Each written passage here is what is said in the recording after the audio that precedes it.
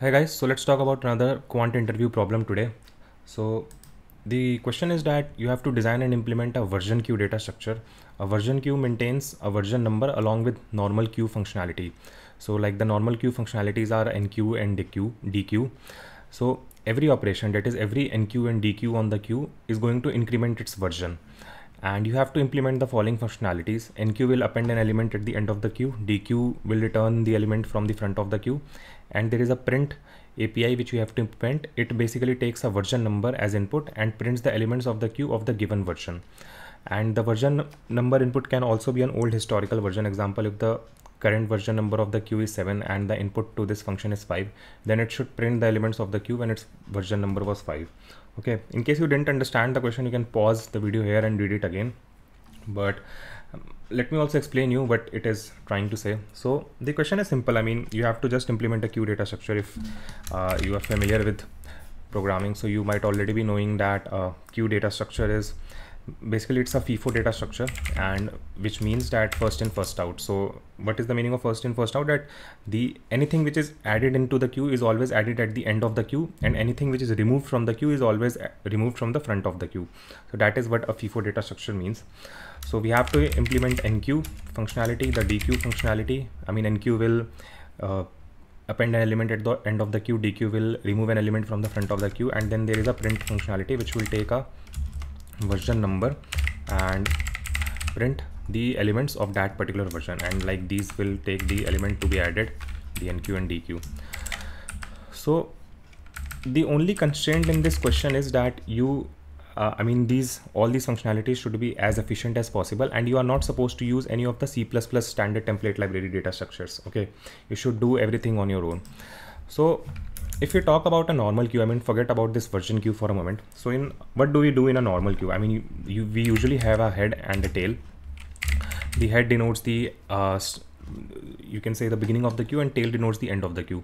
So uh, initially both of these are null and whenever we add elements to the queue, I mean, these keep on incrementing. Let's say we enqueue one to this particular queue. Okay. So now our head will point to one and our tail will also point to one okay and like our queue will look something like this our queue will basically look like there is one and then after this there is nothing. There is it points to null the next of the one. Now let's say we enqueue 2 to this particular queue so our head will still remain one. I mean all the enqueue, enqueue is done at the end of the queue so our, but our tail will become 2 okay? So our queue would look something like this that it is 1 and then it is 2 and 2's next is basically null so I mean similarly whenever you keep on incrementing everything will keep appending to the queue the tail will always be modified. When you dequeue something let's say you did a dequeue from this queue. So the dequeue will you do not pass any argument to the dequeue because I mean the front of the queue is going to be dequeued always. So in this case our head will be incremented. It will become 2 tail is also 2 and the dequeue will basically return 1 because 1 was at the front of the queue we dequeued it and it returned 1 and now our updated queue looks something like this. Okay. So but for a version queue there are some peculiarities. So what are those peculiarities? Basically that uh, I mean every time you are doing I mean initially your version of the queue will be 0 okay? Or you can also start with 1 and every time you are doing an NQ or DQ you you will keep on incrementing the version okay? So let's say here when we were here our version of the queue was 0 but then we did an NQ here so now our version of the queue is 1 okay? And this is how the version 1 queue looks like. This is the version 1 queue then we did another NQ now our version has become 2 because every NQ DQ operation is going to increment the version right so our version now has become 2 here. And our version 2 queue looks like something like this. And when we did a dq then our version has again incremented and now our version is 3 and the version 3 queue looks like this. So let's say if someone asks you that print the version 2 queue okay? Print version 2 queue so you basically have to print this. This is the version 2 queue you should print 1 2 okay. I mean the current state of the queue looks like this but the version 2 queue looks like this right? So you need some uh, you can say some kind of storage functionality to make sure that you store all the version queues. I mean whatever are the historical versions. So how we can do that? So as I, as we saw i mean we are going to take the advantage of this head and tail only so in a normal queue there was only one head and tail but to implement this version queue we will have a head and tail pointer for each version. I mean, there will be a head and tail pointer for the current state of the queue and there will be a head and tail pointer for each version of the queue. So that whenever someone asks us to print the queue of that particular version, we can take the head of that version, we can start iterating from there until we have reached till the end of the queue. That is not the end of the queue, but the tail of that particular version.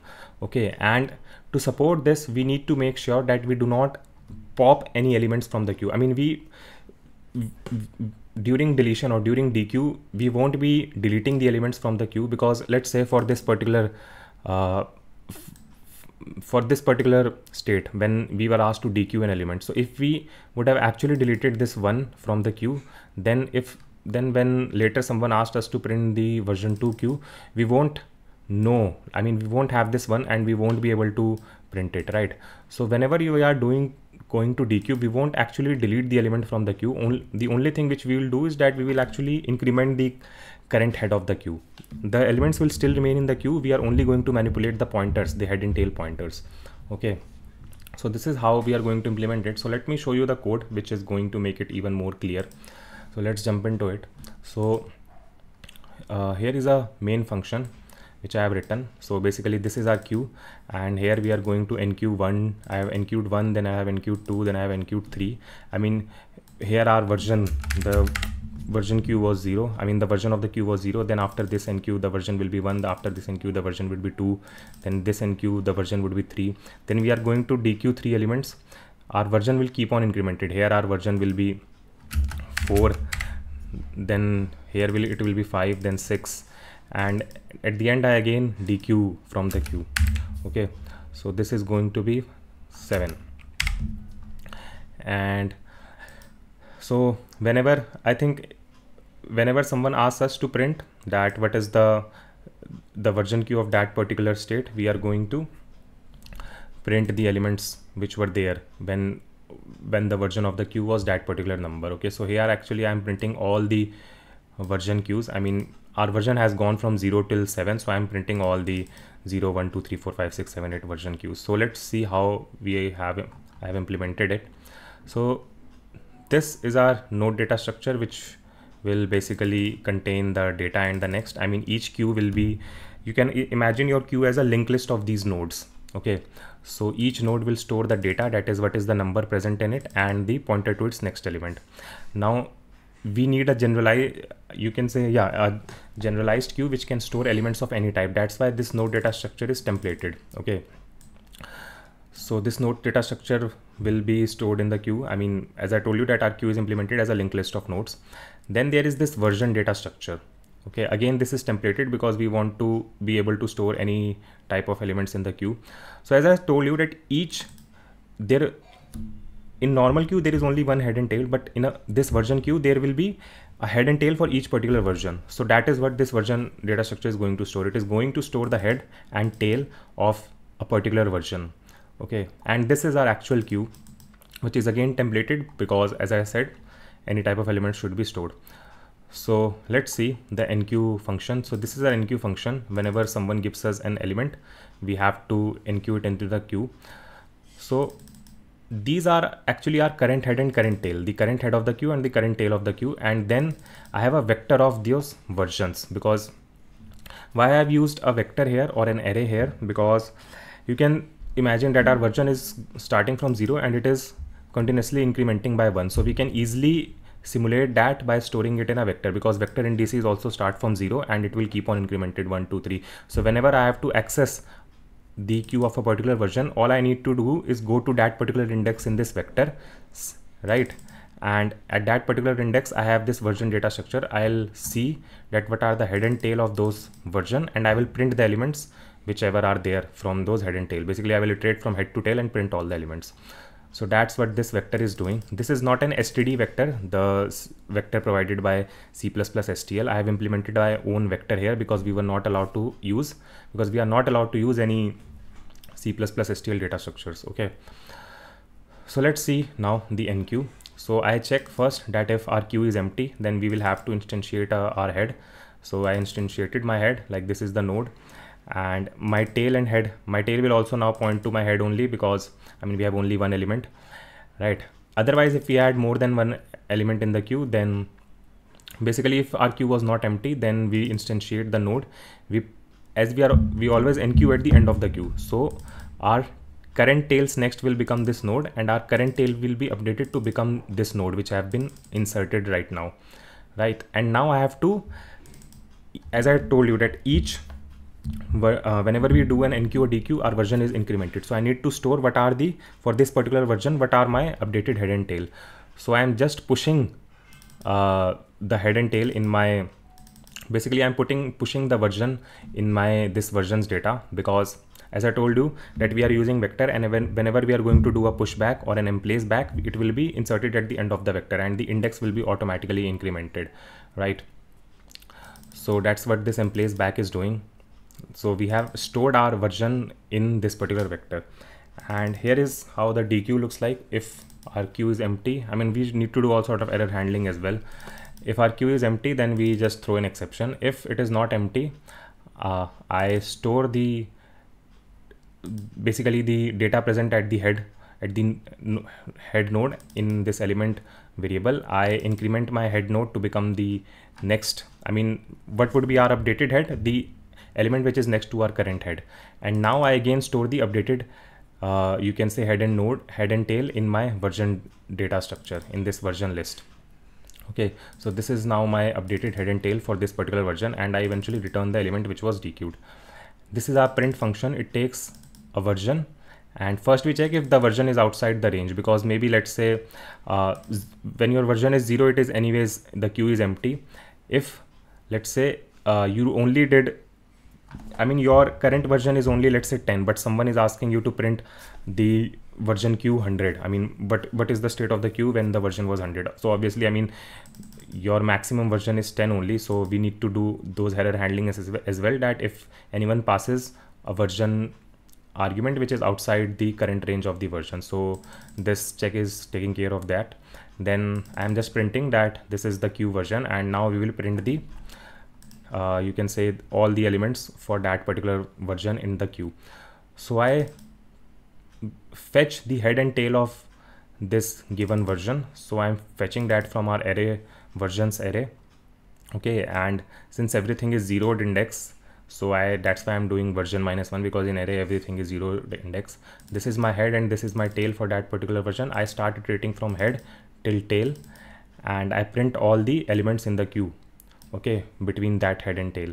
So as i told you like during dequeue i'm not actually removing any element from the queue right? I'm just manipulating the current head and tail pointer. So that makes sure that everything if given any head or tail we can print the elements present in the queue and this is just an this is how i have implemented my empty function that if our head is null ptr then obviously our queue is empty. Okay. And as i told you that uh, i'm have implemented my own vector.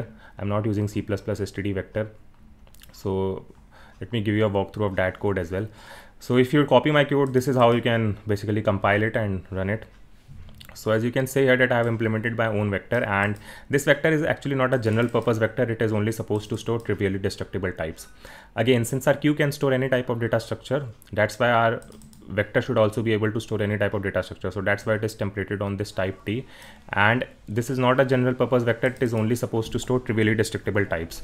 So this check is for that, that this particular vector should only store trivially destructible types. If someone is you know trying to store any other type of element like which a type of element which is not trivially destructible then the compilation will fail i mean he will get to know at the compile time only because we don't want our clients to make any error to store the type of elements which are not supposed to be stored in this vector as it is not a general purpose vector.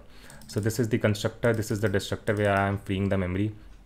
I mean, uh, the main elements in the vector and this is how actually std vector is also implemented. There is a capacity which tells you what is the capacity of the vector this there is a current size variable which tells you what is the size of the vector that is how many elements are currently stored in the vector and this is a array which actually stores the Uh, all the elements present in the vector okay? And basically vectors are dynamically growing arrays so this is how these capacity and size variables help do that.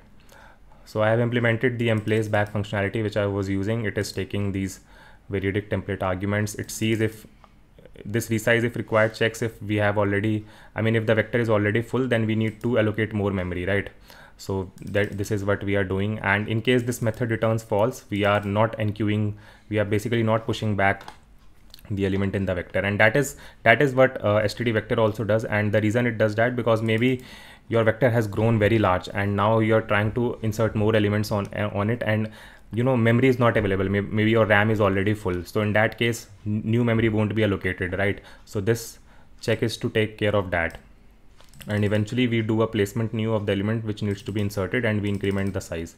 And this is the square bracket operator right? Uh, this is required because as you saw that we were uh, accessing in the print function we were uh, accessing the elements or the head and tail stored at a particular index in this vector. So here we are using the square bracket operator right? So we need to uh, implement this square bracket operator as well. So this is how it is implemented.